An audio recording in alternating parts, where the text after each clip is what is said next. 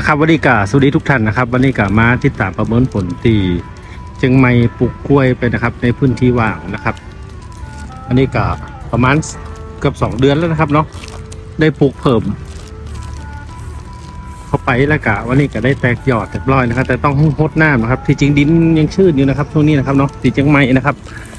แล้วกะวันนี้ก็ได้มาเพิ่มในส่วนของมะม่วงนะครับ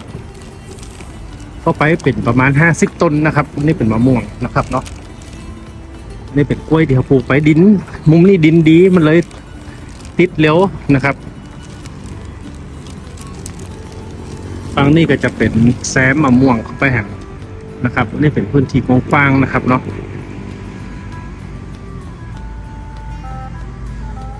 ดอดีช่วงเป็นเทศกาลพึ่งเลยพอดาตอบขนาดเลย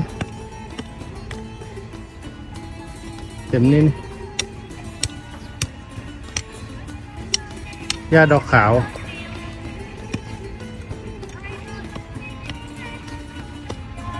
โอ้หนักมากเลยนะนี่นะเจะเอาฝนพึ่งวางรอได้แล้วนี่ เต็มหมดเลย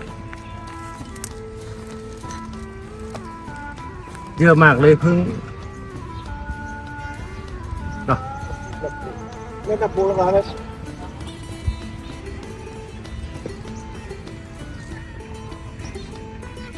นะครับอันนี้กะหญ้าดอกขาวนะครับช่วงนี้กะอันนี้ติดเชียงใหม่นะครับเนาะนี่